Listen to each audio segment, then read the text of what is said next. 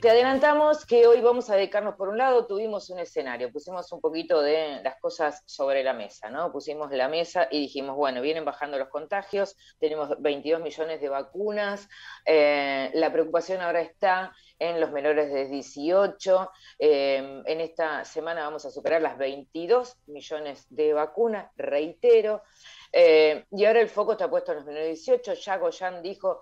Ah, por favor anótense porque es muy posible que antes de lo que ustedes imaginen el escenario está más cerquita. Pero ahora, eh, justamente los pediatras y pediatras especialistas en adolescentes y nutricionistas ponen el foco en los adolescentes en otra parte que es el trastorno alimenticio. Por eso, no sé si ya la tengo del otro lado, eh, a la queridísima doctora Mónica Katz. Eh, no sé si está en Zoom, si ya tengo el gusto de saludarlo.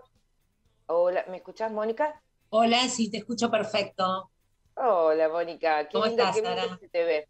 ¿Cómo va? Oh, Bien, bien, eh, como todos, cansados de este mundo que nos tocó atravesar, ¿no? este tiempo histórico, que lo, recordaremos de manera muy especial. Pero bueno, nos tocó, nos tocó y hay que atravesarlo. Exactamente, de una manera muy especial. Y hoy hablábamos eh, muy temprano, Mónica, eh, yo sé que vos tenés esta postura de la no dieta, la postura de una educación saludable, en donde está puesto realmente en el tema eh, de la persona y no en el tema del alimento. Pero ahora una de cada tres chicos adolescentes, este, eh, por la pandemia, porque les falta su entorno justamente social, sus pares, tienen trastornos alimenticios. ¿Qué nos puedes aportar de esto? Mira, estamos muy preocupados. Nosotros esto lo venimos viendo del año pasado, no es que apareció en el 2021. En el 2020 nos empezó a llamar la atención y cuando hablamos de trastornos alimentarios, ojo, la gente que no está en tema por ahí piensa que es anorexia nerviosa, bulimia nerviosa, el cuadro clásico, ¿no? Uno con un peso bajísimo de cadáver y el otro vomitando todo el día. No. Lo que se ve mucho son los trastornos alimentarios no especificados, se llaman TANE. Eh, es decir, come menos pero no llega a pesar tan poquito.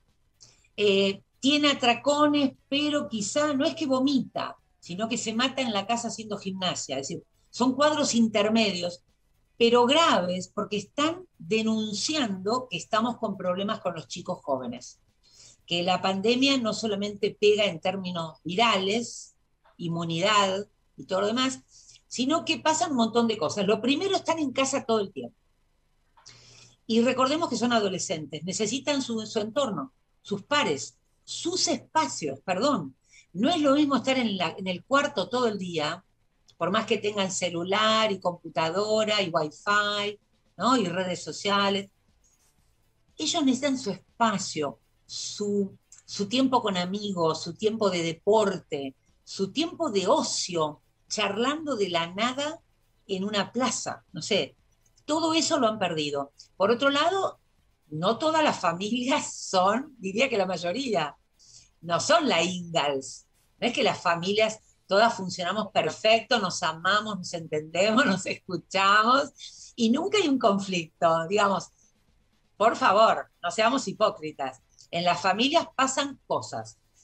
Todos estamos peor de nerviosos por la incertidumbre, porque no se termina más, porque aparece la variante Delta, ¿no? Y entonces en Inglaterra alertan de la tercera.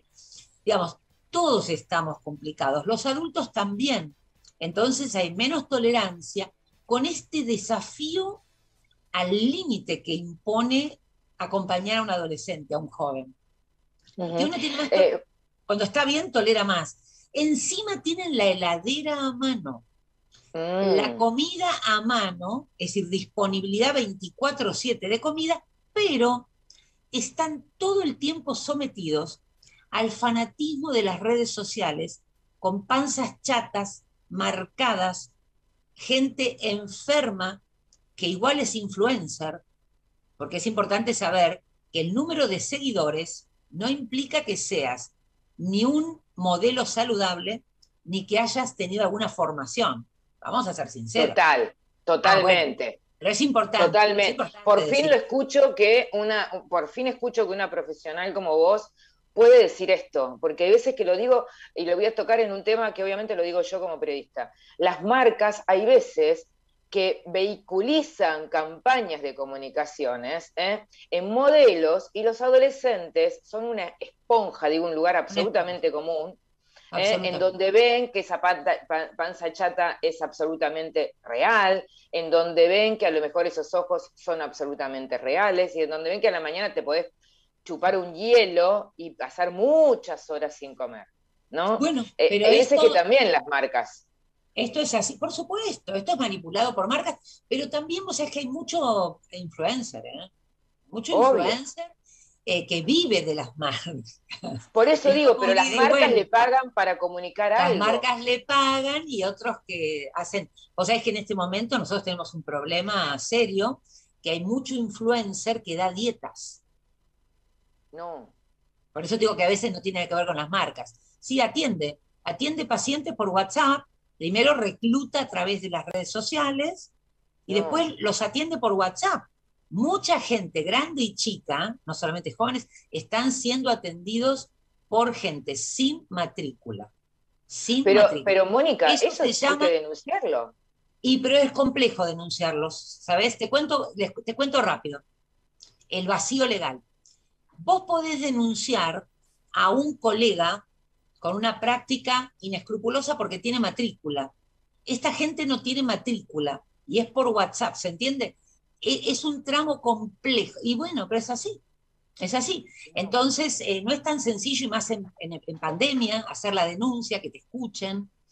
Eh, pero eso es intrusismo. En países como España está reglamentado, hay leyes y tiene penalidad de dinero o, de cárcel. ¿Sí? Acá en la Argentina el intrusismo no es una figura legal. El intrusismo, claro, pero tuvimos casos de médicas que fueron este, encarceladas por ser truchas, o sea, ah, bueno, eh, pero murió gente. Ah. Murió gente. Acá, por suerte, esperemos que no, eh, digamos, no tiene que ser mortal para estar influenciando mal a la gente. Primero porque si no, tenés matrícula, si no tenés matrícula habilitante, eso es un delito. ¿Está? El que no tiene matrícula habilitante por el ministerio, por el colegio profesional, por el que sea, en la Argentina es un delito. ¿Está? Después, demostrarlo y todo lo demás no es sencillo. Eso hace mucho daño a los chicos porque los chicos están mirando a estos influencers, que algunos serán de las marcas, estos, te digo, no tienen marca, sino es un negocio propio, ¿sí? Y mm, hicieron un curso de tres meses y como decís vos, tienen imágenes que venden, porque a veces son flacos naturales o tienen patología, ¿eh? Ojo, eh, yo conozco a algunos, tienen trastorno alimentario, no conoce a algunos de ellos, y la gente, los chicos no lo saben. Ahora, importante, todos los que, yo por ejemplo en este momento, mucho menos que vos, vos todo el tiempo, los comunicadores, los periodistas, todos los que estamos en un medio público, redes, televisión, radio, diario, revista, estamos interviniendo en la gestión de la salud pública. Repito, te guste o no, tenés que ser responsable, porque todos los que hablamos por un medio de comunicación masiva estamos interviniendo en la gestión de la salud pública. Con lo cual, ojito con lo que decís. Ojo, porque hay ojos jóvenes mirando imágenes de cuerpos que no son reales y hay cabezas jóvenes escuchando mensajes que no son saludables. Y eso ha generado este lío. Sí. sí, y otra cosa, Mónica, y en soledad, porque los adolescentes se encierran en, en el cuarto, ¿eh? y obviamente que la mirada del adulto, del padre, no es casi siempre el referente para ser escuchado, quizás a lo mejor se escucha mucho más un par, una amiga, un influencer, ¿eh? hay distancia, porque justamente para identificarse toman distancia. Eh, no sé si nos puedes dar un tips, porque siempre te, te pregunto y no es lo correcto, pero me gustaría, si podemos dejar una, dos o tres principios de qué manera poder acompañar y si nos damos cuenta cuál es el, primer alerta.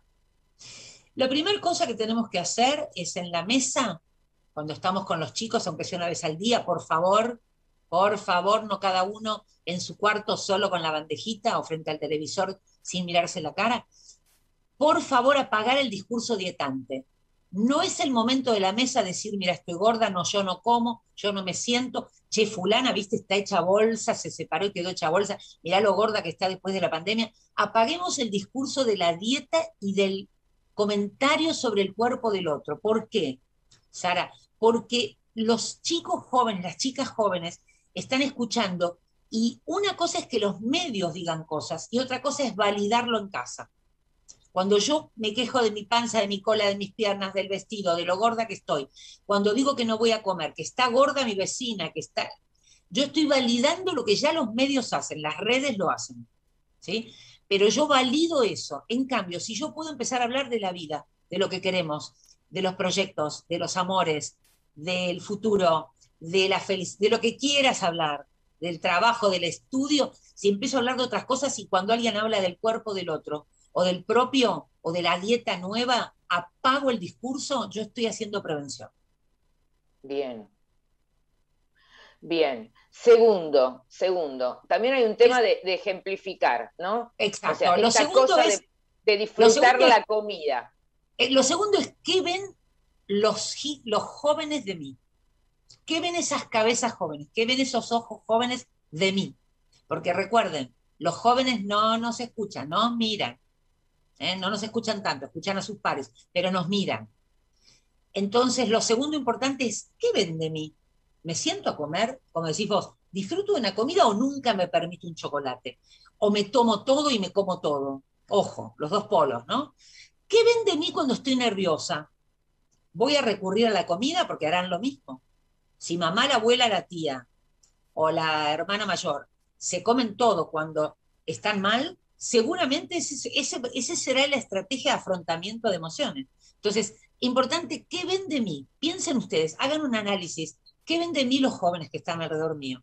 No qué digo, ¿eh? porque parole, parole, palabra, no. ¿Qué ven de mí? Y qué ven de mí también en términos de movimiento, porque hoy hay gente obsesionada que si comió se va a correr.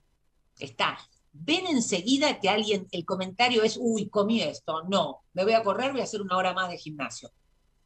Todo ese discurso hay que apagarlo. ¿Por qué? Porque ya bastante lo escuchan de afuera. Lo que yo necesito hacer es mostrarle que somos mucho más que un cuerpo, que hay muchas otras cosas que valen de ellos y que además tienen este cuerpo que por ahí no está tan mal. ¿no? Es un mensaje muy bueno. Todo lo que somos como personas, como ciudadanos, como miembros de una familia, como amigos, todo lo que nacemos sabiendo como habilidades de nacimiento y todo lo que aprendimos a hacer y, esa manera particular de andar por el mundo y la actitud que tenemos son aparte atributos maravillosos, además de lo que muestro como cuerpo. Y además, ¿no? esta cosa, ¿no, Mónica? De, poner, siempre decís vos, el alimento como centro de disfrute, ¿no? Y sí, También. Sabés que en este momento hay un movimiento muy extraño en el mundo y en la Argentina. Estamos convirtiendo el comer en ilícito y la comida rica en pecado capital. Mire, metete en redes, cada vez que yo nombro de comer algo rico, el ataque es seguro le paga una empresa, te juro, es decir, pareciera que vos no podés hablar de una comida rica porque alguien te está pagando para que lo digas, ¿entendés? Es, impresionante. Si hablo de fideo, no voy a decir marca, entonces te paga la de fideo. Pero, Mónica, vos fíjate Masterchef, perdón, vos fíjate Masterchef, el éxito rotundo. Bueno. Eh, eh, ¿Y quién no es una receta eh, que podés ver ahí? Bueno, pero anda a hablar de algo, salud.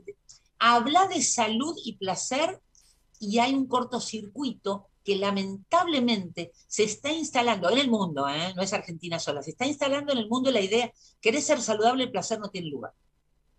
Y mirá que el discurso mío es, fruta y verdura es la mitad de tu comida. Fruta y verdura tiene que ser la mitad de tu comida. Comprado, cocinado, que lo traiga la abuela, que hagas delivery. Fruta y verdura de estación, la que puedas pagar, es la mitad de la comida que tenemos que comer. Tenemos que ser vegetarianos a tiempo parcial. Pero eso no quiere decir que yo no pueda un chocolate una torta o un helado o una papa frita, ¿no? Pero hoy el placer, te cuento, métete a hacer investigación. Eh, cuando hablas de placer, no, eso no es saludable, no hay lugar. No hay lugar para el placer. hay una ausencia del placer en el debate, tanto en la regulación de alimentos como en el debate en un congreso. Es decir, entra a un congreso de nutrición y vos no vas a ver que hay una mesa de placer. No, no, no, no, existe, no hay un espacio. Es una cosa increíble la negación, como si los humanos comiéramos solo nutrientes y, comer fuera solo un ejercicio intelectual. Eso también hace daño a los chicos. ¿Por qué? Porque si hay una ausencia tan grande del placer en el debate en general, social, los chicos empiezan a creer, a diferencia de nosotras, que vivimos un mundo en el que comer la, torta rica de la abuela no era un drama, ¿eh? Eh, comer el helado no era un pecado, bueno, hoy parece ser que comer algo rico está mal. Entonces, de verdad, empiezan a restringir. Y cuando yo evito algo, acumulo ganas. Por el contrario, la certeza baja el deseo. Si yo sé que mañana puedo esto rico, yo puedo no comerlo uno o dos días, porque lo como cuando quiero. Ahora, cuando a mí me dicen no se puede, eso no se debe, eso no se hace, como la canción de los locos bajitos, cuando me meten en la cabeza todo eso, esto no se hace, esto no se puede, yo empiezo a creer que eso es malo, pero claro, cada día uno necesita una dosis de placer y la comida te la puede dar. No digo que sea la única. Si el único placer de tu vida, la comida, está jodido. Pero la comida puede hacer por vos eso. ¿Por qué tiene que ser todo feo?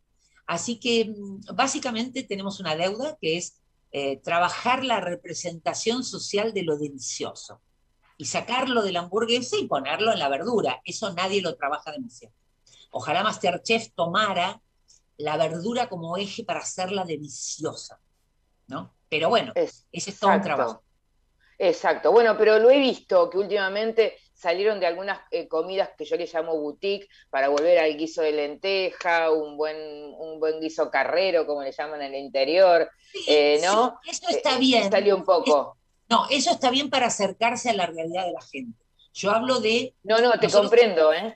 Comprendo, nosotros, nosotros en la Argentina tenemos, si entras al sitio del Ministerio de Salud de la Nación, nosotros tenemos unas guías, se llaman GAPAS, Guías Alimentarias para la Población Argentina. Para mí, Masterchef, un programa recontra exitoso que la gente sigue, chicos grandes, adolescentes y, viejitos, debería estar de acuerdo con las GAPAS. Bien. Es decir, si yo tengo un programa, si yo tengo un programa tan exitoso, algo de las GAPAS, algo de lo que el Ministerio de Salud recomienda, debería estar reflejado en un programa tan importante. Está bueno. La verdad que lo tomo.